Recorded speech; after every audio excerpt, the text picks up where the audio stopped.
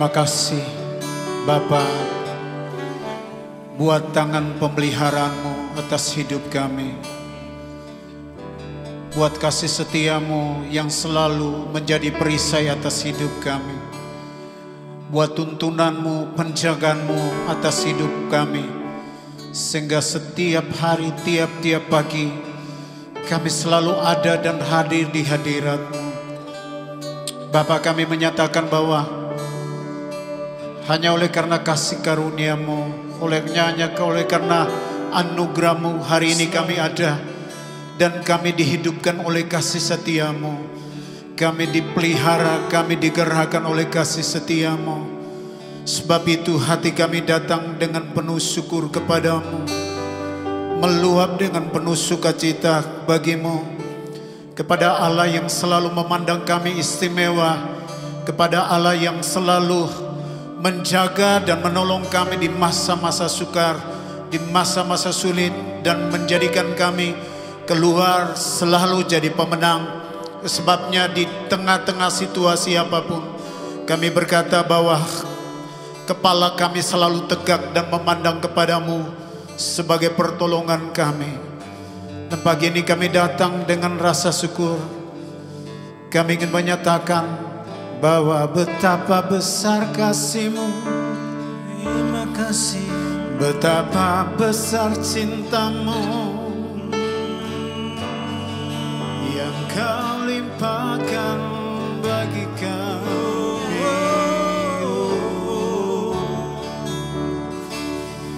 Kau Bapa yang sangat baik. Baik Tuhan. Oh kebaikanmu selalu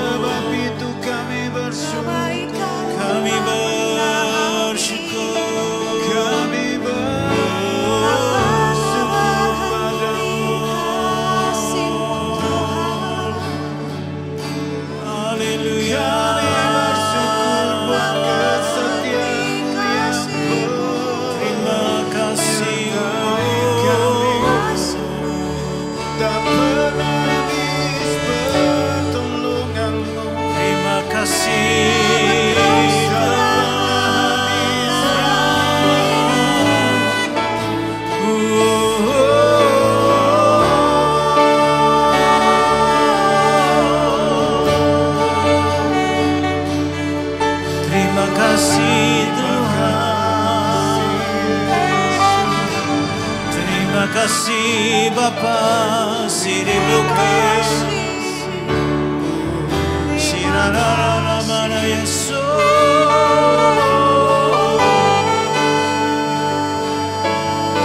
Kami sembah Kau Tuhan. Menyembahmu.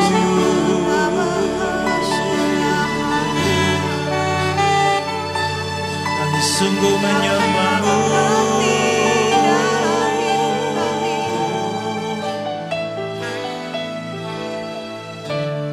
Terima kasih Tuhan. Terima kasih untuk bulan tahun, minggu, hari, jam, menit, dan detik Ya. dalam hidup kami. Kau selalu hadir, Selalu Kau nyata Tuhan. Kau setia akan segala janjimu dalam hidup kami Tuhan. Terima kasih. Terima kasih Bapa. Haleluya. Semusim berlalu Namun kau selalu lihat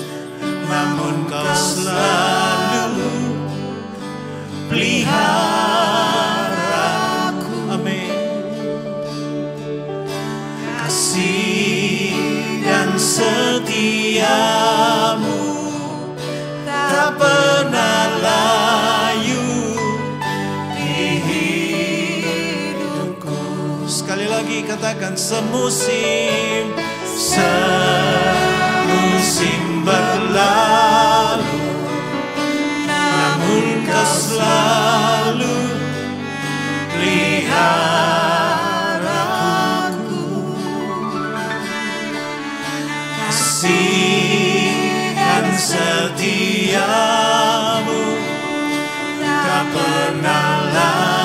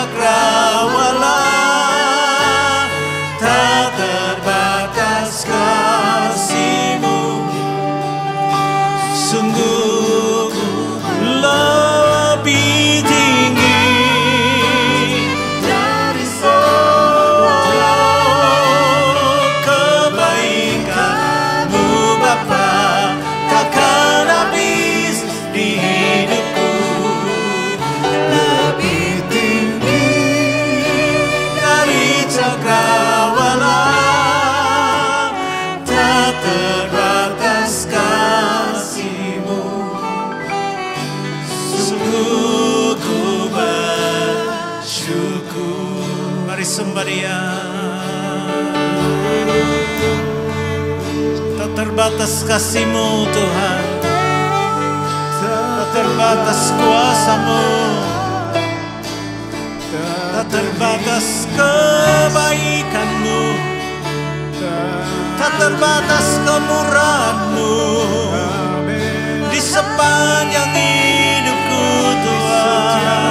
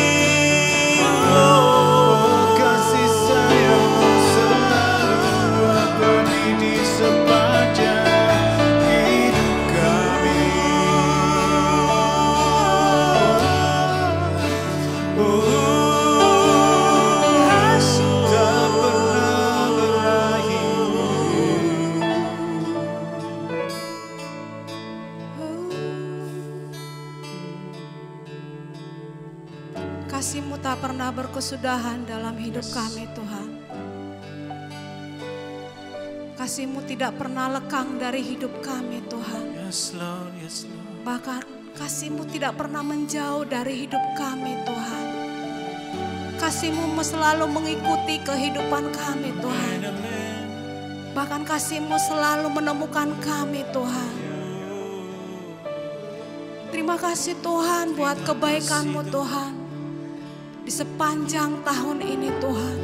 Terima kasih. Terima kasih buat musim-musim yang kami hadapi Tuhan di sepanjang tahun ini. Oh. Terima kasih buat musim-musim yang sudah kami lalui Tuhan. Kalau kami boleh melalui musim itu Tuhan, kami kan percaya itu karena kebaikan-Mu Tuhan. Terima kasih benar. Itu karena tangan-Mu yang selalu menggendong kami Tuhan. Benar Tuhan. Itu karena tangan-Mu yang selalu menuntun kami Tuhan. Untuk kami boleh melalui Tuhan musim itu Tuhan. Baik musim yang tidak baik Tuhan. Engkau selalu bersama-sama dengan kami. Bahkan musim yang baik Tuhan. Engkau ada bersama-sama dengan kami Tuhan. Bahkan di saat hidup kami Tuhan. Terpuruk pun Tuhan. Engkau ada bersama dengan kami Tuhan. Sepanjang tahun ini Tuhan kami boleh melihat kebaikan-Mu Tuhan. Kalau kami boleh Tuhan ada sampai saat ini di akhir tahun 2023 Tuhan. Kami percaya Tuhan itu semua karena anugerah-Mu Tuhan. Itu semua karena berkat-Mu Tuhan. Terima kasih buat segala yang baik Tuhan. Segala hal yang baik yang sudah kami lalui, yang sudah kami terima Tuhan. Kami katakan kami bersyukur Tuhan. Kami bersyukur Tuhan. Kami bersyukur Bapa. Kalau ada pengharapan kami yang belum kami terima Tuhan. Kalau ada janji yang belum kami terima Tuhan. Kami tahu Tuhan. Di tahun-tahun yang akan datang, Engkau akan menggenapi yes, itu yes, dalam hidup yes, kami. amen, amen. Kami akan menerima itu Tuhan bersama-sama dengan Engkau Tuhan. Kami akan menerima dengan sorak-sorai Tuhan. Yes, Dan yes, kami bersyukur. Tuhan. Terima kasih Bapa. Kalau ada yang hilang Tuhan di tahun ini Tuhan. Kami katakan Tuhan, kami bersyukur Tuhan. Dalam apa pun Tuhan itu Tuhan. Terima kasih Tuhan.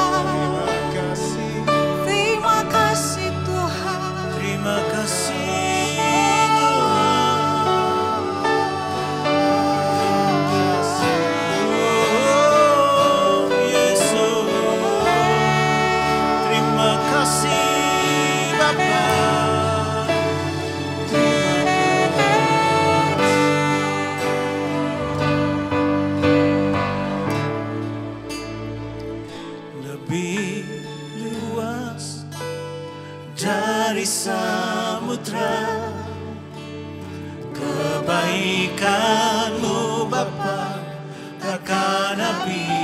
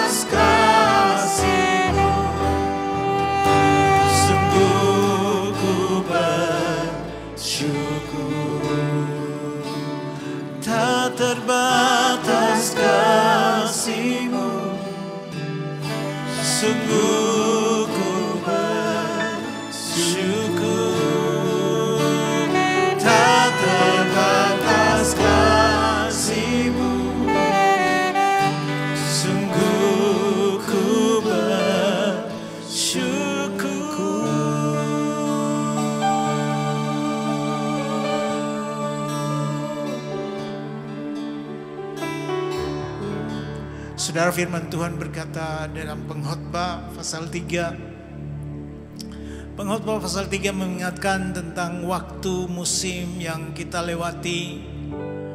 Bahkan ketika saya membaca pengkhotbah ini mungkin sebagian dari kita telah melewati hal ini. Dan dikatakan untuk segala sesuatu ada masanya untuk apa pun di bawah langit. Ada waktunya. Jadi kalau masanya belum tiba, tiga hari lagi kita akan mengakhiri tahun 2023 dan kita akan masuk dalam tahun 2024. 24 mungkin waktunya adalah di tahun mendatang masanya bukan sekarang tapi masanya akan datang karena ada waktu untuk lahir. Di tahun ini ada banyak yang kelahiran. Saudara mendapatkan baby bersyukur dan bersuka citalah ada waktu untuk meninggal tapi saudara yang kehilangan percayalah mereka sudah bersama dengan Tuhan. Ada waktu untuk menanam ada waktu untuk mencabut yang ditanam. Ada waktu untuk membunuh, ada waktu untuk menyembuhkan, ada waktu untuk merombak, ada waktu untuk membangun kembali. Ada waktu untuk menangis. Kita kehilangan orang-orang yang kita cintai, kita mungkin mengalami suasana yang buruk sehingga kita meneteskan air mata. Tapi percayalah ada waktu untuk tertawa. Tuhanlah yang telah membuat keseimbangan tentang waktu itu. Ada waktu untuk meratap, tapi ada waktu untuk menari. Di ayat 11 menarik saudara, karena pengkhotbah ini berkata, "Ya Tuhan, ya Tuhan, membuat segala sesuatu indah pada waktunya." Bahkan ia memberikan kekekalan dalam hati mereka, hati kita. Tuhan berikan kekekalan yang jauh lebih tinggi karena di dalam kekekalan sudah tidak ada waktu dan musim waktunya kekal. Kita dibatasi oleh ruang dan waktu karena kita ada di siang dan malam. Kita sekarang di subuh dan sebentar mungkin malam dan besok kita akan alami lagi. Tetapi Tuhan menaruh setiap musim itu dalam dalam rentan kekekalan. Sayang dikatakan sayang tetapi manusia tidak dapat menyelami pekerjaan yang dilakukan oleh Allah dari awal sampai akhir. Kalau saudara tahu waktu hidup saudara dari sini sampai sini dan dia akan berjalan menuju kepada kekekalan. Di sini sudah tidak ada limitnya dan dia akan terus selama-lamanya dan kita akan bersama Tuhan selama-lamanya. Limit yang kita punya ini di sini Tuhan sudah menaruh musim-musimnya. Di rentan waktu ini ada waktu untuk lahir, ada waktu nanti untuk meninggal di ujung sini. Tapi di waktu-waktu di tengahnya ada waktu engkau tertawa di sini, ada waktu engkau menangis. Ada waktu dan ada waktu yang menanam dan ada waktu untuk mencabut yang ditanam, menuai, ada waktu untuk menaruh benih dan waktu untuk menuai. Ada waktu, semuanya ada waktunya. Dan Tuhan membuat itu supaya hidup ini indah dan berirama. Karena itu di musim apa pun hidupmu di sepanjang tahun ini, Percayalah, setelah malam berlalu, mentari akan datang. Setelah badai berlalu, pelangi akan muncul di sana. Ada banyak keindahan yang kita ketika kita mau menyelami bahwa Tuhan menaruh itu semua dalam dimensi kekekalan buat hidup kita. Karena saudara-saudara dan saya menerima Yesus sebagai Tuhan dan Juru Selamat. Kita sudah mendapatkan kehidupan yang kekal itu. Kehidupan yang kekal itu sudah dimulai karena itu saudaraku, apa pun tantangan yang kita hadapi, tidak mungkin kita dipisahkan dari Allah, Sang Juru Selamat kita yang telah mati dan menebus kita. Kita barusan melewati momen perayaan Natal dan mungkin masih dalam suasana Natal, kita ingat tentang Sang Immanuel. Natal mengingatkan kita tentang Immanuel, Allah yang ada di tengah kita menyertai kita. Allah yang ketika datang dia berkata dia Immanuel tapi ketika dia kembali ke sorga menyiapkan tempat bagi kita, dia berkata, Immanuel, aku senantiasa menyertai engkau sampai ke kesudahan alam ini. Allah yang jelas dari awal sampai akhirnya. Karena itu saudara, renungkan kebaikan Tuhan. Ambil waktu dalam beberapa waktu di akhir tahun ini untuk merenungkan kebaikan Tuhan. Ingat kasih setianya. Saya ingatkan bahwa di dalam kasih setia Tuhan ada komitmen dan integritasnya Allah. Bahwa di Allah yang setia. Haleluya. Bila ku renungkan kasih setia Sungguh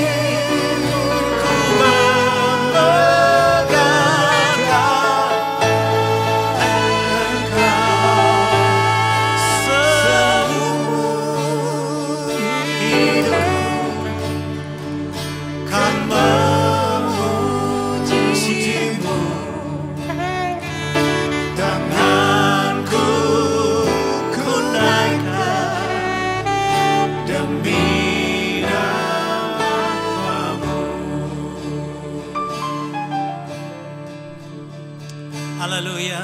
Tangan kami kami naikkan kepada Tuhan. Yes.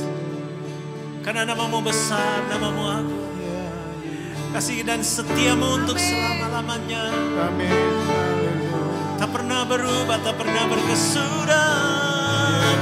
Oh, oh, oh. Haleluya.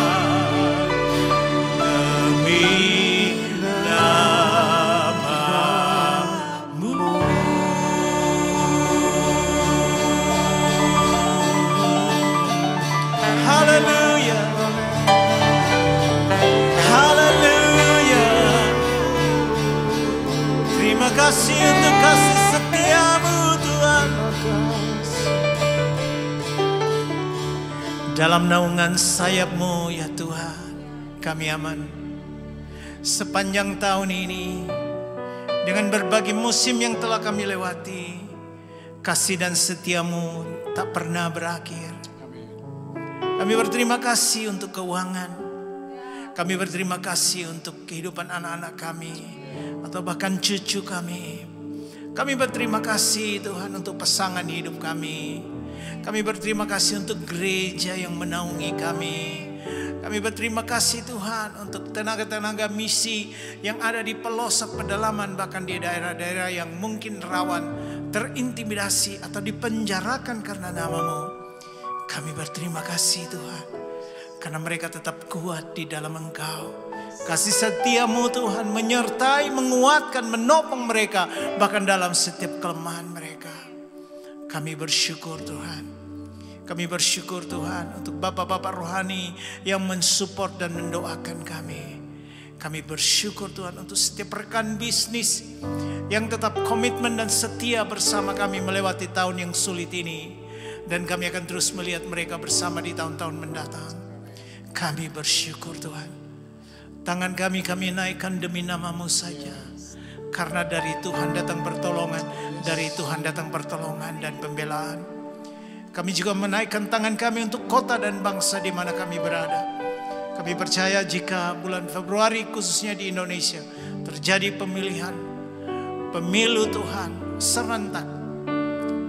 Pemilihan legislatif dan eksekutif Tuhan, kami berdoa. Orang yang terbaik sudah Tuhan tentukan untuk dipilih agar dapat melanjutkan apa yang sudah dikerjakan oleh presiden kami dan seluruh timnya sehingga Indonesia dibangun lebih makmur, lebih jaya, lebih hebat dalam masa-masa yang akan datang. Terima kasih Tuhan. Kami bersyukur untuk hari ini. Jika beberapa hari lagi saudaraku mengakhiri tahun ini, percayalah selalu ada tangan Tuhan dalam hidupmu. Selalu ada anugerahnya yang menyertai kau, engkau dan setiap hari baru setiap pagi. Karena itu percayalah kekuatan kasih karunia-Nya akan menopang menguatkan engkau dalam segala kelemahanmu untuk masuk di dalam musim yang baru, tahun yang baru dengan lebih kuat, lebih dahsyat karena penyertaan dan pembelaannya. Terimalah berkatmu hari ini. Berkat yang terbaik yang datangnya dari Allah Bapa. Cinta kasih dari Tuhan kita Yesus Kristus. Penyertaan kekuatan kuasa kemenangan dalam rohnya yang kudus. Menopang menguatkan dan menyertai hidupmu, keluargamu dan salam familimu dari sekarang kekal selama-lamanya. Segala berkat ini datang pada kita saat ini di dalam nama Tuhan Yesus dan kita yang menerimanya sama-sama katakan amin.